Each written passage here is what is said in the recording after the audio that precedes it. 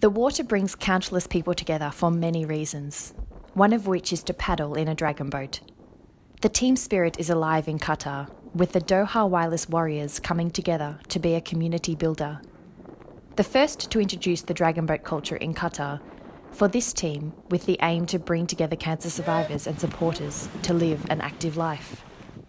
It provides a safe space for survivors to simply be without feeling the need to talk about their diagnosis. A lot of our team members are either cancer survivors or cancer supporters, had some close person to them have cancer, passed, or survived. And um, that is a traumatizing experience. You need a lot of uh, emotional support and just to get, get through the day. So if we make it about competition and winning, uh, we lose our purpose.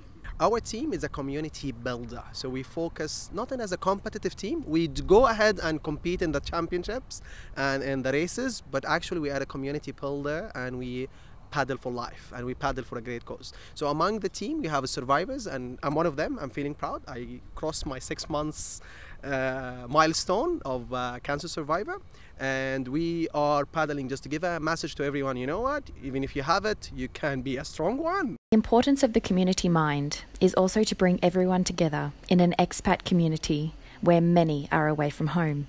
Qatar has 2.7 million people, with only 350,000 Qataris. Everyone else from different families, communities, nationalities. Sometimes we have 22 nationalities in the boat.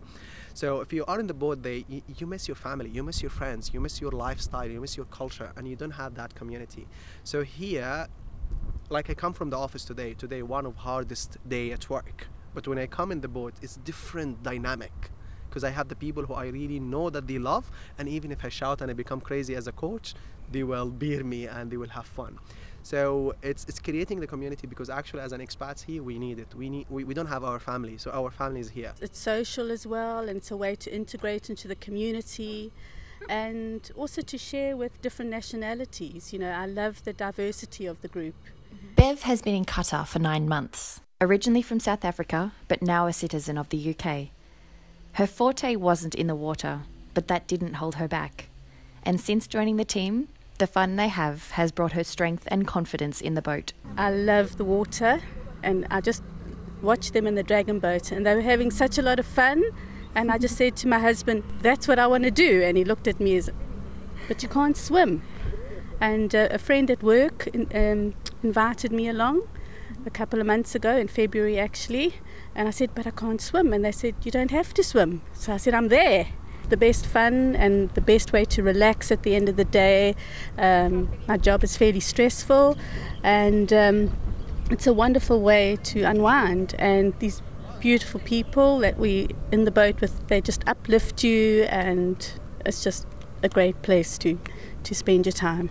When you come, you think, oh, I really don't have the energy, but as soon as you're in the boat and you feel the energy, and then you just keep going and people motivate you they encourage you yeah we do compete but we don't aim to win we just want to tell people we're here and cancer survivors are here and, and they're active and, and they're enjoying life and that could be you you could also enjoy life we're not a competitive team. However, we went to Egypt and we got third. We went to Canada and we get number one for the ladies race.